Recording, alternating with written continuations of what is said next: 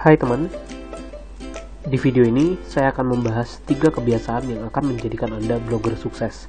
Video ini saya buat untuk menginspirasi member ataupun teman-teman yang sudah bergabung di paduan blogging ataupun yang belum bergabung tapi kebetulan menonton video ini. Dan mudah-mudahan tiga kebiasaan ini atau tiga hal yang akan saya share berikut ini bisa menginspirasi Anda untuk jadi blogger sukses ataupun setidaknya untuk lebih semangat sebagai seorang, seorang blogger. Apa itu blogger sukses? Mungkin kita semua punya banyak definisi. Mungkin ada yang bilang blogger sukses itu blogger yang setiap hari blognya dibaca oleh setidaknya 5000 orang atau blogger yang income-nya puluhan juta rupiah per bulan dan lain sebagainya. Nah, untuk mencapai hal-hal itu tentu ada caranya tapi supaya simple saya akan bagikan tiga kebiasaan yang yang selalu saya lakukan dan saya yakin pasti dilakukan oleh blogger-blogger lainnya di luar sana. Dan apakah tiga hal itu? Pertama ini yang sangat klasik terus belajar. Untuk jadi ahli kita harus terus belajar harus punya pengetahuan baru pengalaman baru ilmu baru beradaptasi dengan perubahan dan sebagainya.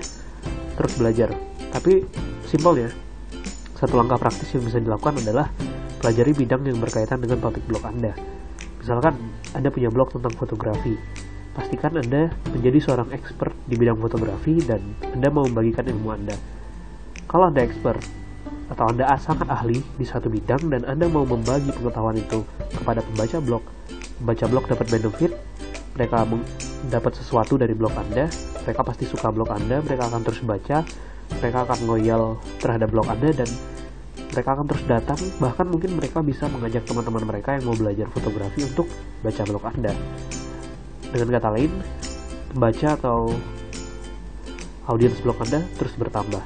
Makin besar audiens makin besar marketnya berarti makin banyak potensi bisnis yang bisa Anda dapatkan bisa dari iklan dengan menawarkan rekomendasi produk dan lain sebagainya.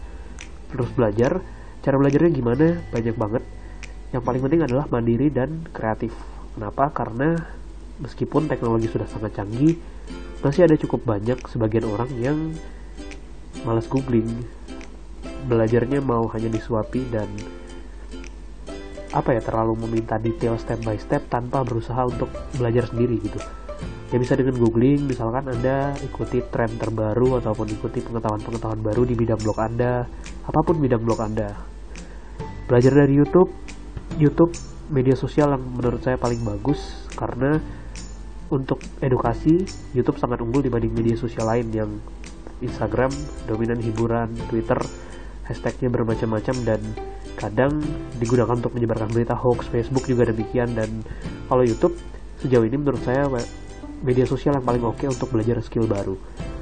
Saya sering belajar uh, bahasa asing melalui YouTube, saya belajar pengetahuan-pengetahuan baru lewat YouTube dan youtuber-youtuber itu di luar negeri biasanya kreatif dan sering bagikan konten-konten edukatif. Itu sangat bagus. Diskusi juga bisa baca buku banyak sekali cara belajar. Nah yang tak kalah penting adalah belajar juga tentang pengetahuan baru seputar blogging.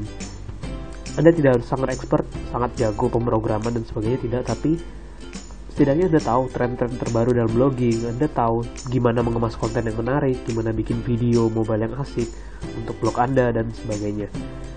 Juga belajar tentang skill pengembangan bisnis, bagaimana meningkatkan jumlah membaca blog Anda, bagaimana skill presentasi untuk mempengaruhi calon pengiklan di blog Anda, dan sebagainya.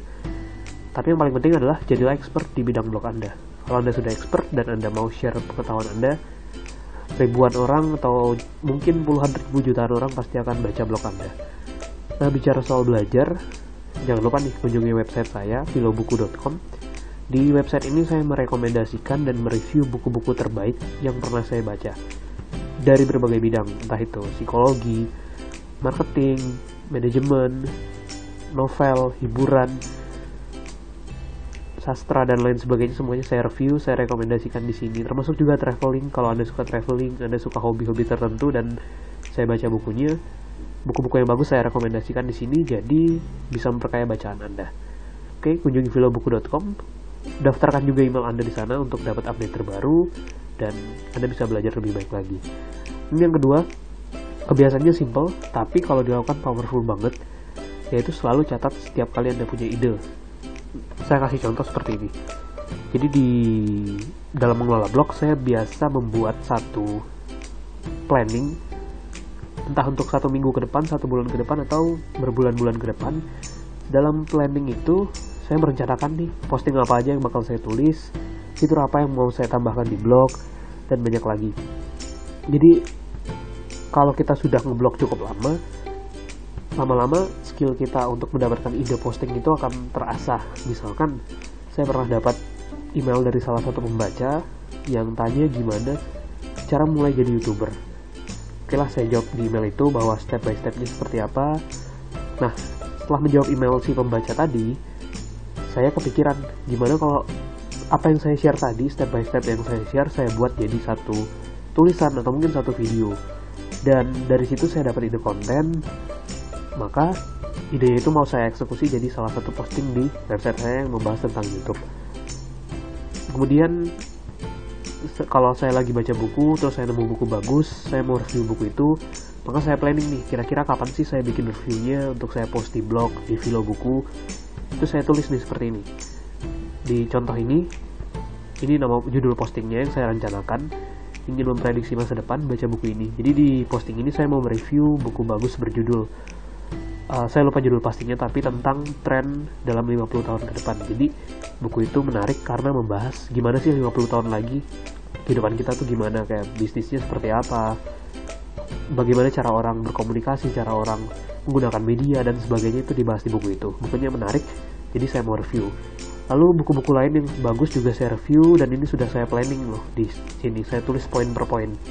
Bahkan kadang kalau saya dapat ide saya langsung breakdown ide itu menjadi poin-poin lebih detail. Misalkan saya mau nulis posting tentang mendapatkan 100.000 views pertama di YouTube. Saya langsung pikirkan caranya gimana pengalaman saya seperti apa dan langsung saya tulis tips-tipsnya seperti ini.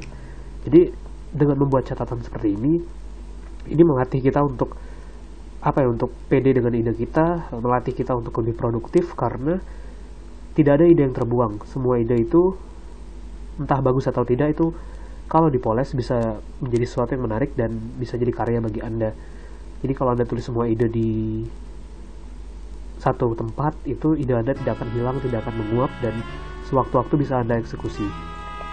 Oke, dan tips yang ketiga, kita boleh punya ide sebagus apa pun, sekeren apa pun, tapi kalau nggak dieksekusi, nggak diwujudkan, tentu tidak ada realisasinya. Nah, tips yang ketiga, setelah kita mencatat banyak ide, kita dapat kita belajar, punya pengetahuan baru, dapat inspirasi, dapat ide untuk bikin posting, untuk bikin karya di blog, udah kita catat idenya tinggal kita wujudkan. Jadi apa yang sudah kita tulis secara berkala bisa kita wujudkan. Nggak harus besok nggak harus minggu depan tapi yang pasti anda wujudkan. Entah itu bulan depan atau dua bulan lagi yang penting terencana dan bisa anda wujudkan. Kita nggak perlu khawatir ide itu berhasil atau tidak yang penting dicoba dulu. Kenapa? Karena sebagai blogger kita kan menggunakan teknologi.